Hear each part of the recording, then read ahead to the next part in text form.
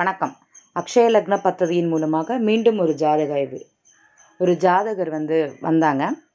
என்னோட பிறப்பு வருடம் வந்து ஆயிரத்தி தொள்ளாயிரத்தி எழுபத்தி ஐந்து. எனக்கு வந்து மாதம் நாள் தெரியாது.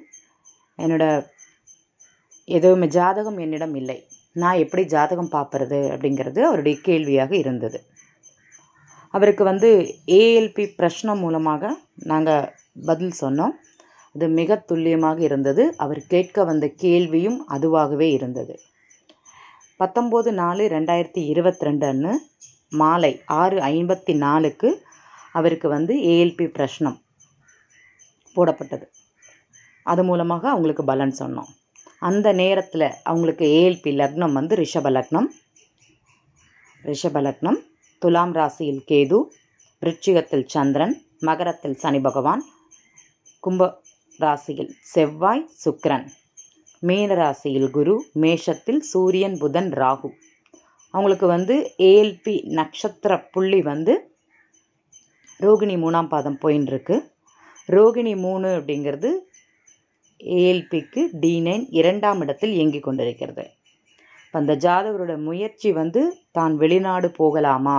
அது பற்றி கேள்வியாக இருந்தது. கண்டிப்பாக இவர் வெளிநாடு போகக்கூடிய காலம் அப்படிங்கிற மாதிரியே சொன்னோம்.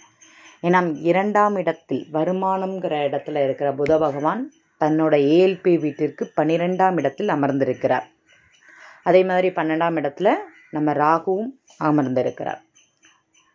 இந்த ஜாதகருக்கு வந்து பத்தாம் இடத்த அதிபதி பத்தாம் வீட்டில் செவ்வாய் அமர்ந்து தன்னோட நான்காம் பார்வையாக லக்னத்தை பார்க்கிறார். அவர் ஏழும் பன்னிரெண்டும் ஆதிபத்தியம் பெற்ற செவ்வாய்.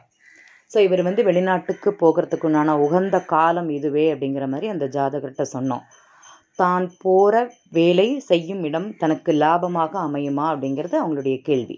அடுத்தது ஏன்னா ஒம்போதாம் இடத்தில் இருக்கும் சனி பகவான் தன்னோட மூணாம் பார்வையால் தன்னோட பாக்கியஸ்தானமான பதினொன்றாம் இடத்திற்கு பார்வையிடுகிறார். ஸோ கண்டிப்பாக இவர் வேலைக்கு போனால் நல்ல ஒரு வருமானம் ஈட்டக்கூடிய காலம் நல்ல ஒரு காலமாக இருக்கும் அப்படிங்கிறத அந்த ஜாதகர்கிட்ட சொன்னோம். போகிற கொஞ்ச நாள் கொஞ்சம் பிரச்சனைகள் இருக்கும். ஸோ அதை சமாளித்து நீங்கள் இருந்தீங்கன்னா கண்டிப்பாக வெற்றி பெற்றுவிடலாம் அப்படிங்கிறத அந்த ஜாதகருக்கு பலனாக கூறினோம். அவர் வந்து ரொம்ப சந்தோஷப்பட்டார். ஏன்னா என்னோடய கேள்வியே வெளிநாட்டுக்கு போகலாமா அப்படிங்கிறது இருந்தது.